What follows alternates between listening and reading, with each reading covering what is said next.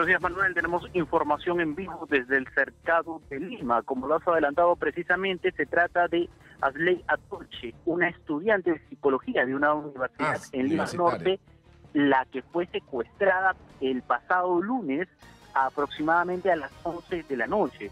Durante esta madrugada ella ha sido ya eh, liberada, esto eh, gracias a las acciones por parte de la Policía Nacional del Perú, precisamente de la División de Secuestros, quienes se pusieron en contacto de manera inmediata con la familia y estuvieron, eh, digamos, eh, presentes en las negociaciones con estos secuestradores, quienes estaban pidiendo originalmente eh, la suma de 50 mil soles para liberar a esta estudiante. Ahora hay que señalar que eh, gracias a estas acciones esta estudiante ha sido liberada sin que la familia pague un solo sol.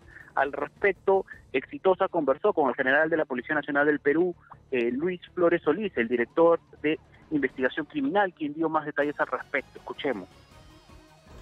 Nosotros activamos todos nuestros procedimientos legales para poder llegar hasta estos delincuentes.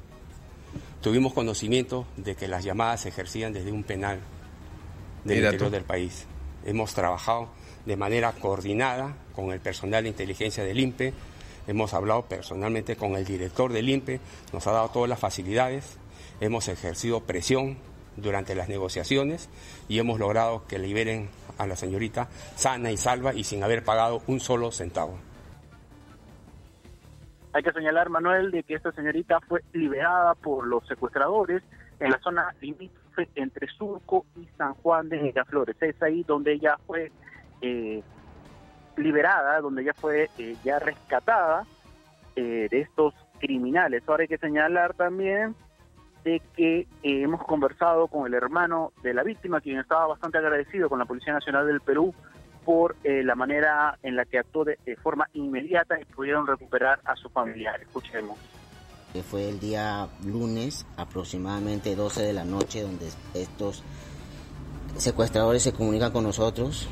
Ha sido días, unos días de totalmente angustia, pero la policía nos brindaba el soporte, el apoyo que nosotros necesitábamos y la policía ha hecho un trabajo muy bueno y estos son los resultados, ¿no? Pero sí, la familia preocupada, pendiente de mi hermana, ella es una estudiante, la verdad, horrible. ¿Esos delincuentes habrían estado pidiendo extorsión de algo? Los delincuentes habían estado pidiendo un tema económico, ¿no? Bueno, ya días antes habíamos recibido extorsiones y bueno, no, no hicimos caso, en su momento no denunciamos y Hay que señalar, Manuel, que esta joven fue secuestrada en Puente Piedra, exactamente en el paradero del puente peatonal Totu. De igual manera, eh, según nos ha indicado la policía, la joven narra de que ella pensó que se trataba de un asalto cualquiera, ya que una persona se le acerca por la espalda, eh, le apunta con un arma y le dice, ya perdiste. Sin embargo, ella no imaginó que le van a subir a un vehículo y que iba a tener que vivir estos terribles momentos de terror. Adicionalmente, la Policía Nacional del Perú nos ha indicado de que se viene haciendo ya el seguimiento, ya se tienen identificadas a varias de estas personas que habrían cometido Ojalá. este delito y en los próximos días ya se estaría capturando. Ahora también hay que señalar que no nos han podido dar mayores detalles debido a que eh, precisamente uno de los cabecillas de esta organización criminal estaría en un penal en una provincia del país, eh, digamos que controlando todo esto. Es la información que tenemos en vivo hasta el momento. Informó Giancarlo Cesarego para Exitosa en Lima, los 95.5 del FM, Exitosa la voz integral Perú. Gracias, gracias, Ya- eh. Bueno, a mí me deja muchísimas dudas.